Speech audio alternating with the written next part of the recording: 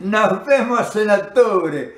¿Qué me contursi? En octubre ahí se va a dirimir la gran batalla.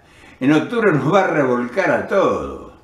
En fin, esos pitufos, esos tilingos nos van a dar una paliza en las elecciones de octubre a todos los representantes del pueblo.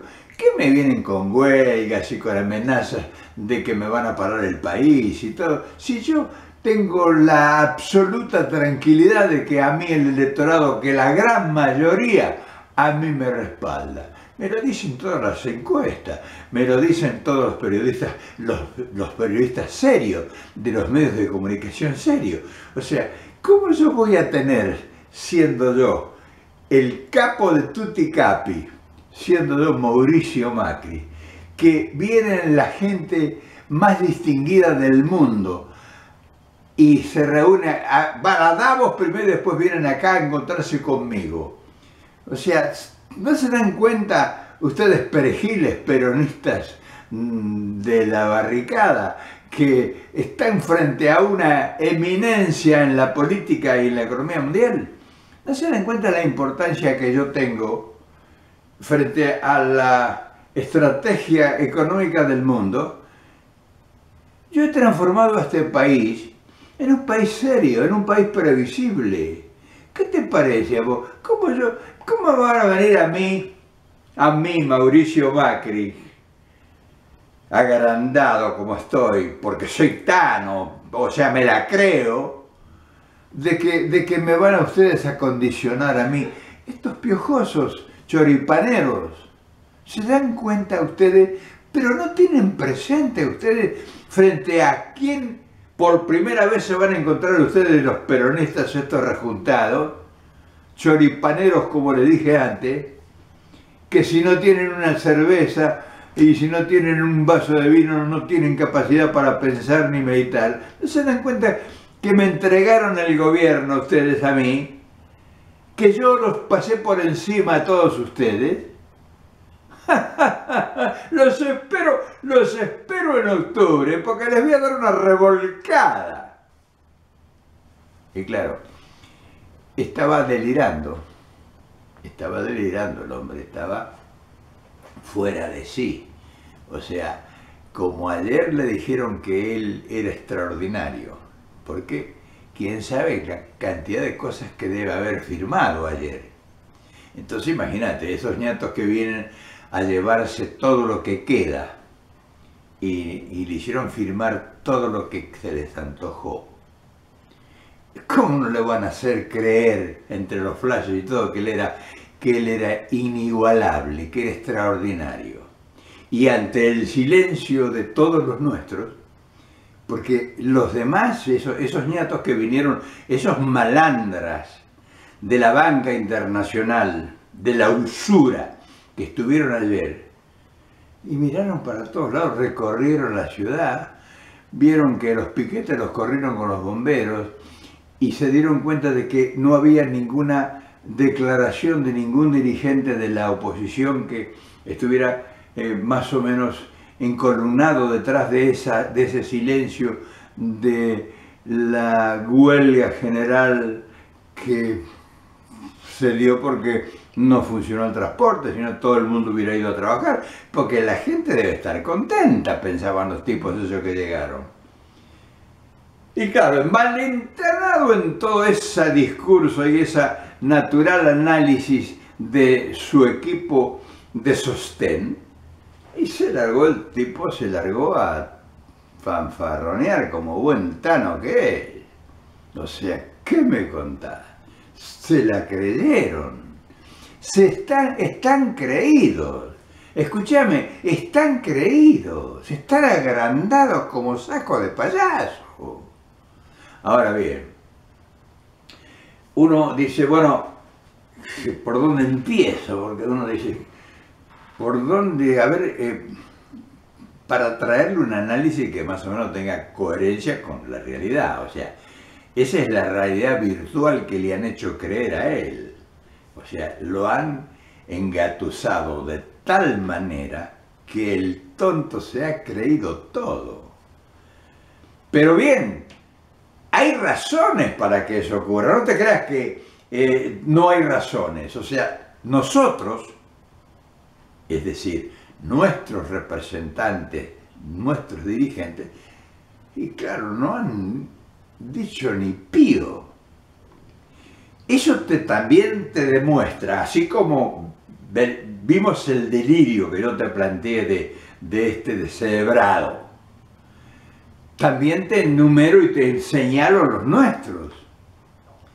¿Cuál es la, si vos, ponete vos en, la mentalidad de esos nietos que llegaron al, al Hilton y sus asesores, porque tiene, eso sí tienen asesores, eh, ellos no hablan español, pero leyeron todos ellos y dicen, mira, no hay ninguna manifestación en contra del gobierno. O sea, no hay ninguna presencia de la oposición al gobierno que realmente haya argumentado algo. Los dirigentes que hicieron el paro, dice, los obligaron, dice, dice acá, o sea, todo el mundo está con el gobierno. Fíjate vos cómo se ha construido una gran mentira frente a los ojos y a la presencia nuestra. Ahora bien, ¿cómo, cómo lo procesamos esto? ¿Cómo lo procesarías vos? ¿Qué te parece a vos? Esto, esto, esto se, van a, se van a encontrar con el paredón de golpe y se van a estrellar y se van a hacer pelota o nos han casado el lado flaco nuestro y realmente nos han anulado todas nuestras naturales reacciones que pudiéramos tener. Porque, qué sé yo, hace pensar de que están jugando muy, con, mucho, con mucha ventaja, parece que van con mucha ventaja galopando. ¿Vos creés que se podrán sorprender y que la realidad los va a revolcar contra el piso en octubre? Y claro, ellos apuestan a, fíjate vos, o sea, yo te voy a, yo te voy a contar la mía. A la única que le tienen miedo es a Cristina. Esa es la única que les puede mover el piso en serio. Después no hay más. O sea, ¿quién más? Entonces ellos lo tienen bien calculado. Esto es una expresión muy cabal de lo que te voy a decir ahora. Ellos lo tienen perfectamente calculado. O sea, la única fuerte de toda la oposición, no hay nadie. O sea, nosotros no tenemos a nadie. Por eso nosotros, como no hemos hecho cuadros políticos, no tenemos a nadie realmente de peso. Entonces ellos lo tienen calculado. Dicen, bueno, muy bien. La única tipa que puede a nosotros hacernos temblar el piso es Cristina.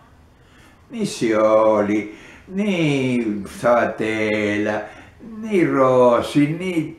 en fin, ninguno, ni Quisilori, nadie de eso les puede mover un pelo a ellos.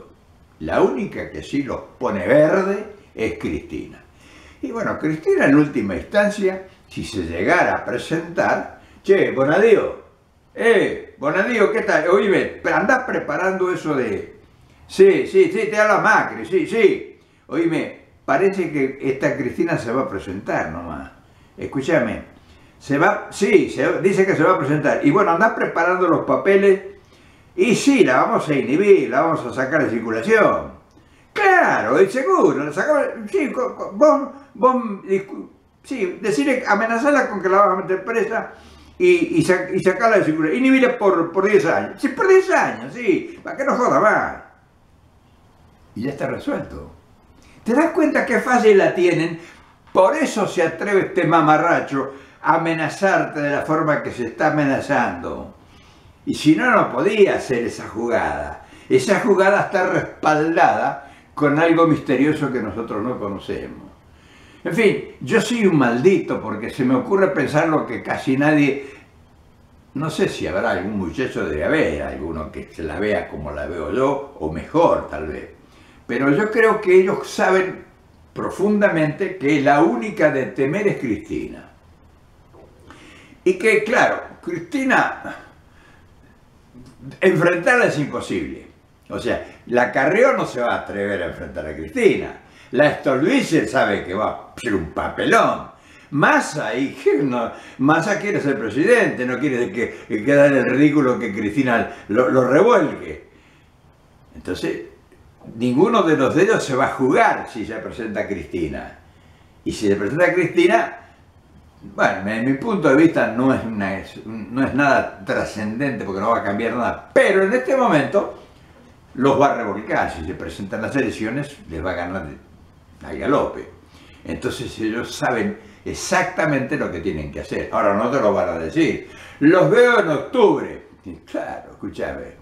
El caballo del comisario corre solo en octubre, porque a Cristina, si no la meten en cana, porque a lo mejor no les alcanza el tiempo, pero sí les alcanza el tiempo para, por algún pretexto cualquiera, decirle que mientras está procesada, ella queda inhibida de partir. En fin, no sé la ley cómo será, o sea, los artilugios que puedan usar son, eh, son floridos y, y exponenciales, o sea que no sé cuál podrá ser la que le calce justo.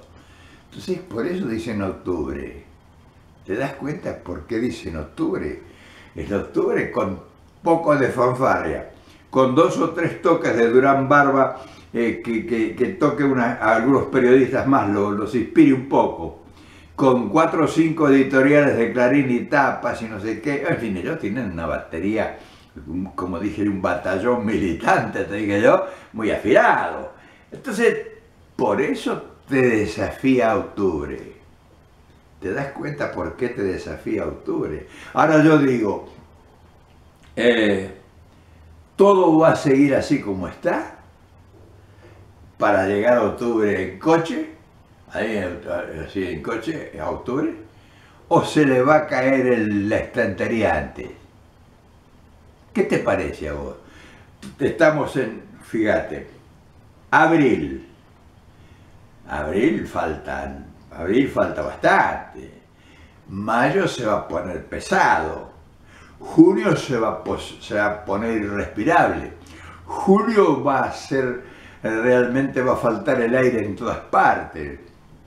Y agosto y septiembre es como atravesar el Mar Negro esto.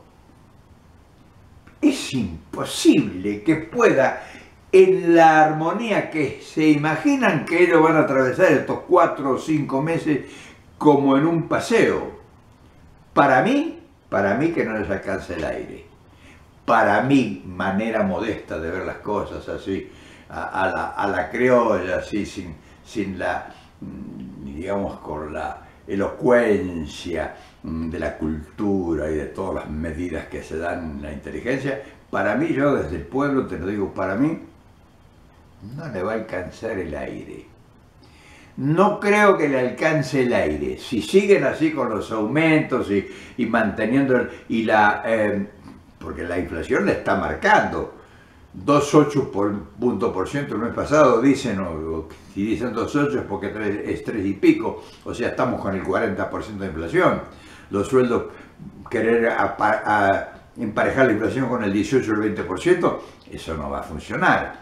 O sea, ahí, ahí hacen agua, ahí se les cae todo. En fin, te das cuenta cómo todos los días nos dan argumentos para que nosotros saquemos tiras así, lonjas de distintos lados del mismo cuero y que lo pongamos en evidencia para que los nuestros empiecen a pensar también. O sea, todo el mundo piensa, pero piensa sin la picardía que requiere la hora. Y tengo sí una gran preocupación, y esto te lo quería comentar. Me causa mucha tristeza el semisilencio de Cristina. Me empieza a preocupar no sé si a vos te pasará lo mismo, a mí me empieza a preocupar el silencio de Cristina. O sea, que está como que no sabe realmente cómo no sé qué. ¿No será que estará pensando ir a hacerse un viajecito a Roma? ¿Qué sé yo? Siempre Cristina cuando está media atribulada agarra para el lado del Papa ¿Quién te dice que a lo mejor de la noche a la mañana se no sé, digo, se me ocurre. A lo mejor ni siquiera se le ha pasado por la cabeza. Pero uno como la ve tan silenciosa y ella sabe que le pueden hacer esta trampa que te hablaba antes, ¿quién te dice que a lo mejor Bergoglio, qué sé yo, no sé, se me ocurre. En fin, ya ves que tenemos siempre tela de dónde cortar. Y eso es lo que nos mantiene vivos y activos, que es lo que importa, que nos mantenga activos, atentos y vigilantes. Como decía ese muchacho, ¿cómo se llama? ¿Cómo era que se llama? Atento. Ah, Juan Domingo Perón.